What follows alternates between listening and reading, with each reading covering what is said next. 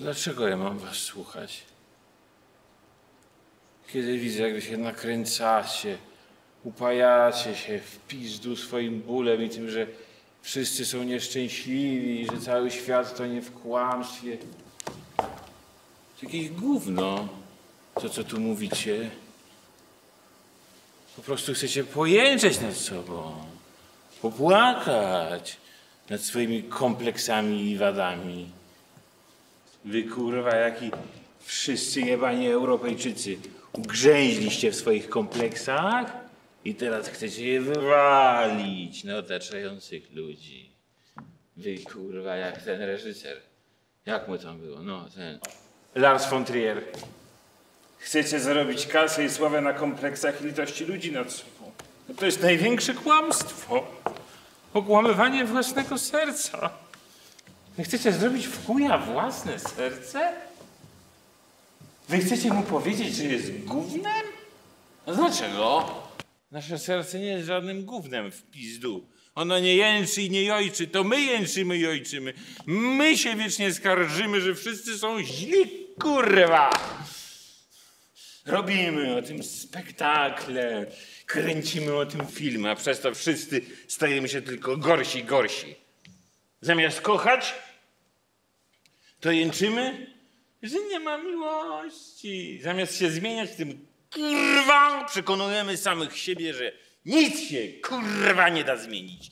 I jakiego chuja ja mam sobie ciągle głowę polować gównem?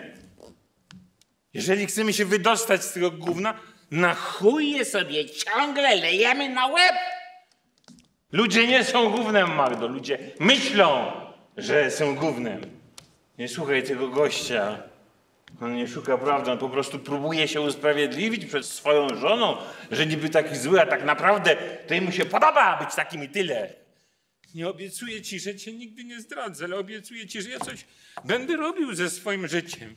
Że będę starał się być lepszym, że będę uczył się troski o ciebie i o naszą miłość, a cała reszta to są nasze smarki, nasze europejskie rzadkie gówno.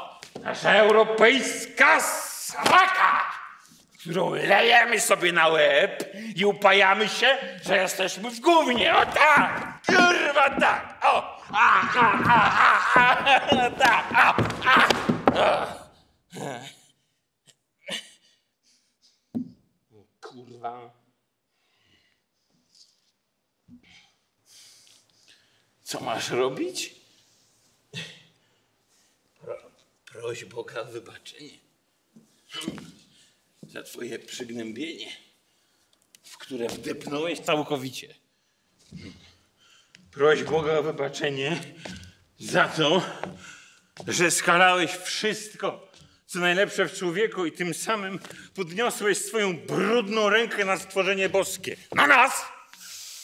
My jesteśmy stworzeniem boskim i nie wolno nas polewać pomyjami i gównem. Kajaj się! Może Bóg w miłosierdziu swoim wybaczy ci. Jebany głupku. A co, a co do jednego masz rację.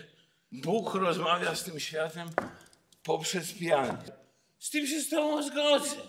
Przyjacielu, no, no, no, no. I teraz właśnie Bóg zwraca się do was przeze mnie, bo jestem pijany jak szpadel. Kurwa! Nie mogę wytrzeźwieć. I co Bóg mówi do was przeze mnie? Nie srajcie się. To powiada wam Bóg. Nie srajcie się. To jego message. Nie srajcie się. To jego główny message. A weźcie się w pizdu za dupę i wyrwijcie z tego intelektualnego, racjonalnego łajna, w którym wszyscy tkwicie. Oderwijcie swoje tyłki od tej słodkiej melancholii, w której ugrzęźliście jak muchy w miodzie. Wszystko to jest jakaś ściema, nie melancholia. Bądźcie silni! Kochajcie się! Zmieniajcie się, a świat wokół was zacznie się zmieniać!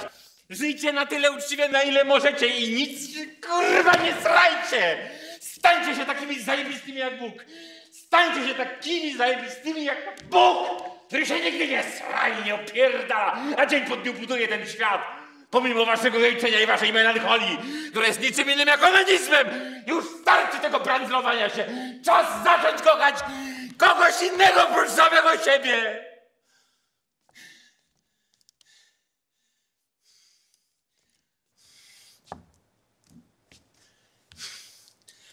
Ale to nie ja mówię, tylko Bóg.